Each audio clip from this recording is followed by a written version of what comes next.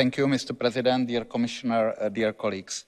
Last year, uh, we made a big mistake. We allow Russia to squeeze our gas market, most likely.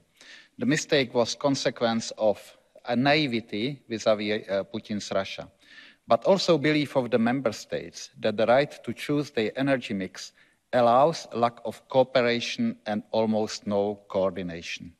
We paid high price and European risk management failed because we even didn't interpret data well at the end of the last year.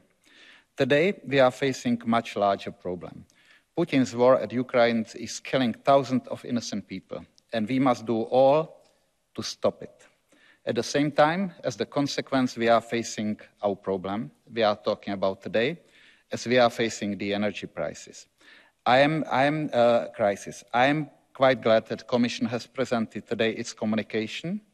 I guess it's a good one, but we must get it from the paper to reality. I'm also sad that some people, including the top politicians from some member states, instead of speeding up the necessary measures, are scaring the people. I guess this is not the right way.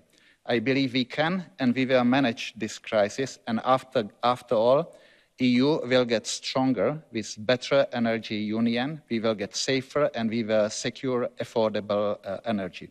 But we must act. We must act now and together. Thank you.